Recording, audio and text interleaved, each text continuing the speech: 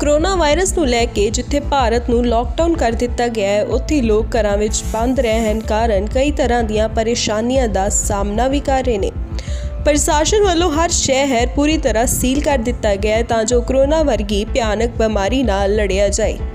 ਇਸੇ ਦੇ ਮੱਦੇਨਜ਼ਰ ਲੋੜਵੰਦਾਂ ਤੇ ਗਰੀਬਾਂ ਤੱਕ ਰਾਸ਼ਨ ਦੇ ਮੁੱਢਲੀਆਂ ਸੇਵਾਵਾਂ ਪਹੁੰਚਾਉਣ ਦਾ ਜ਼ਿੰਮਾ ਪ੍ਰਸ਼ਾਸਨ ਦੇ ਮੋਢਿਆਂ ਤੇ ਹੈ।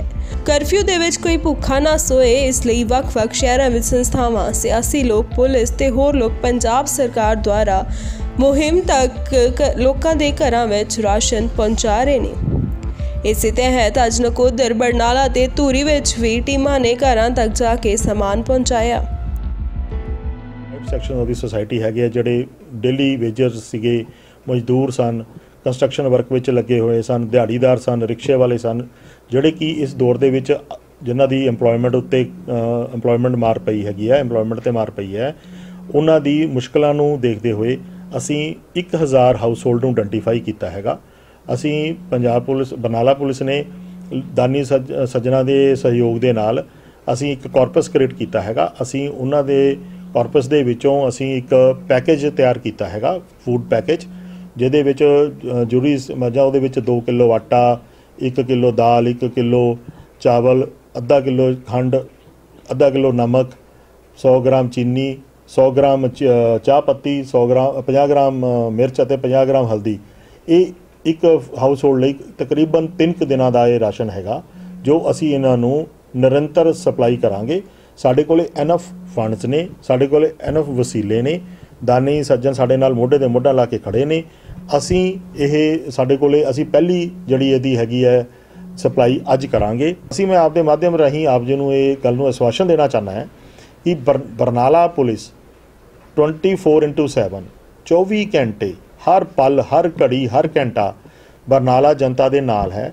ਅਸੀਂ ਬਰਨਾਲਾ, ਇਹ ਵਾਅਦਾ ਕਰਦੇ ਹਾਂ, ਅਸੀਂ on the behalf of the CM Punjab on the behalf of DGP Punjab ਅਸੀਂ ਕਿਸੇ ਵੀ ਬੰਦੇ ਨੂੰ, ਕਿਸੇ ਵੀ ਵਰਗ ਹੋਵੇ, ਕੋਈ section across the section of the society ਅਸੀਂ ਕਿਸੇ ਨੂੰ ਵੀ ਕਿਸੇ ਪ੍ਰਕਾਰ ਦੀ ਵੀ ਔਂਕੜ ਨਹੀਂ ਆਉਣ ਦੇਵਾਂਗੇ। ਬਟ ਜਿੱਥੇ ਸਾਡੇ ਲੋੜਵੰਦ ਭਰਾ ਨੇ ਉਹਨਾਂ ਨੂੰ ਵੀ ਰਾਸ਼ਨ ਵੰਡਿਆ ਜਾ ਰਿਹਾ। ਜਿਹੜੇ ਸਾਡੇ ਵੈਸੇ ਮਾਰਕੀਟ ਦੇ ਵਿੱਚ ਜਿਨ੍ਹਾਂ ਨੂੰ ਸਬਜ਼ੀ ਚਾਹੀਦੀ ਆ ਕੋਈ ਹੋਰ ਡੇਲੀ ਨੀਡਸ ਵਾਲੀਆਂ ਜਿਹੜੀਆਂ ਚੀਜ਼ਾਂ ਚਾਹੀਦੀਆਂ ਨੇ ਉਹ ਡੋਰਵੈਲ ਸਿਸਟਮ ਅਸੀਂ ਨੇ ਕਰ ਰੱਖਿਆ। ਅ, ਰੇਹੜੀ ਯੂਨੀਅਨ ਹਰੇਕ ਘਰੇ ਜਾ ਰਹੀ ਹੈ ਸਵੇਰੇ 5 ਤੋਂ 7 ਗਾਈਡਲਾਈਨਸ ਪੂਰੀਆਂ ਪ੍ਰੋਪਰ ਫੋਲੋ ਹੋ ਰਹੀਆਂ ਨੇ। ਪਰ ਕਈ ਜਗ੍ਹਾ ਤੇ ਥੋੜਾ ਜਿਹਾ ਇਹ ਇਹ ਚੀਜ਼ ਨੂੰ ਥੋੜਾ ਜਿਹਾ ਇਹਦੇ ਚ ਸਾਰਿਆਂ ਨੂੰ ਫਿੱਟ ਹੋਣ ਲਈ ਥੋੜਾ ਜਿਹਾ ਟਾਈਮ ਜ਼ਰੂਰ ਲੱਗੂਗਾ ਨਾ? ਇਹ ਕਿਸੇ ਦੁਸ਼ਮਣ ਨਾਲ ਲੜਾਈ ਨਹੀਂ ਹੈਗੀ ਕਿਸੇ ਦੂਸਰੇ ਦੇਸ਼ ਨਾਲ ਲੜਾਈ ਨਹੀਂ ਹੈਗੀ। ਇਹ ਤਾਂ ਆਪਦੀ ਜਾਨ ਬਚਾਉਣ ਦੀ ਲੜਾਈ ਆ।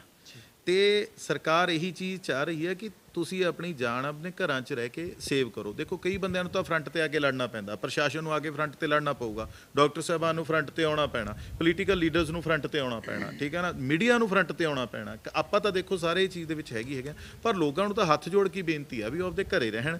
ਤਾਂ ਔਖ ਸੌਖ ਹੁੰਦੀ ਰਹਿੰਦੀ ਆ। ਦੇਖੋ ਹਰ ਇੱਕ ਚੀਜ਼ ਇਹ ਕੋਈ ਇੱਕ ਬੰਦੇ ਦੇ ਉੱਪਰ ਤੌਖ ਨਹੀਂ ਹੈਗੀ। ਇਹ ਤਾਂ ਚਾਹੇ ਕੋਈ ਛੋਟਾ ਕਾਰੋਬਾਰ ਕਰਦਾ ਸੀ, ਚਾਹੇ ਕੋਈ ਵੱਡਾ ਕਰਦਾ ਸੀ। ਇਹ ਤਾਂ ਪੂਰੇ ਪ੍ਰਧਾਨ ਮੰਤਰੀ ਸਾਹਿਬ ਵੱਲੋਂ, ਮੁੱਖ ਮੰਤਰੀ ਸਾਹਿਬ ਵੱਲੋਂ ਇਹ ਤਾਂ ਇੱਕ ਸਾਰਿਆਂ ਲਈ ਇੱਕੋ ਜਿਹਾ ਰੂਲ ਆ। ਤਾਂ ਇਹ ਥੋੜਾ ਜਿਹਾ ਆਪਾਂ ਨੂੰ ਸਮਝਣ ਦੀ ਜ਼ਰੂਰਤ ਆ।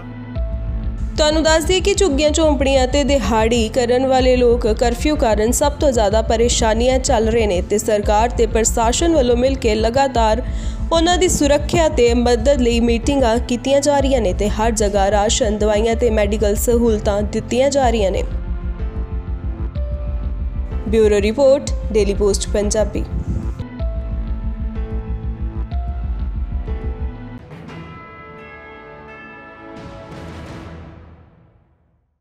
ਸਤਿ ਸ਼੍ਰੀ ਅਕਾਲ। ਜੇ ਤੁਸੀਂ ਕੈਨੇਡਾ ਸਟੂਡੈਂਟ ਵੀਜ਼ੇ ਤੇ ਜਾਣਾ ਚਾਹੁੰਦੇ ਹੋ, ਪਰ ਆਇਲਸ ਵਿੱਚ ਓਵਰਆਲ ਤਾਂ 6 ਆ ਗਏ, ਇੱਕ ਵਿੱਚ 5.5 ਬੈਂਡ ਕਰਕੇ ਡਰਦੇ ਹੋ, ਜਾਂ ਕੈਨੇਡਾ ਦਾ ਸਟੂਡੈਂਟ ਵੀਜ਼ਾ ਰਿਫਿਊਜ਼ ਕਰਵਾ ਬੈਠੇ ਹੋ, ਜਾਂ ਸਟੱਡੀ ਗੈਪ ਜ਼ਿਆਦਾ ਹੋਣ ਕਰਕੇ ਸੋਚਦੇ ਹੋ ਕਿ ਕਿਤੇ ਰਿਫਿਊਜ਼ਲ ਨਾ ਆ ਜਾਵੇ, ਤੇ ਅੱਜ ਹੀ ਪਿਰਾਮਿਡ ਈ ਸਰਵਿਸਿਜ਼ ਨੂੰ ਮਿਲੋ ਔਰ ਕੈਨੇਡਾ ਜਾਣ ਦੇ ਆਪਣੇ ਸੁਪਨੇ ਨੂੰ ਸਾਕਾਰ ਕਰੋ।